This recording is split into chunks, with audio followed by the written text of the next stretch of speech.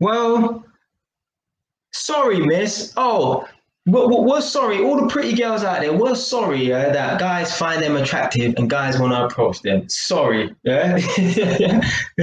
How can women go out there, look good, right, and not expect expect to get approached? So what you want? You just want guys to worship you, validate you, look at you, yeah, give you all this free attention, but you don't want no one to come up to you and approach you. Yeah? Women are literally like the definition of they want their cake, but you know they can't eat it, kind of thing. So you want man to to to validate you, and yeah, but you don't want man to come and make an approach. And well, don't look good then, innit? Sorry. Yeah?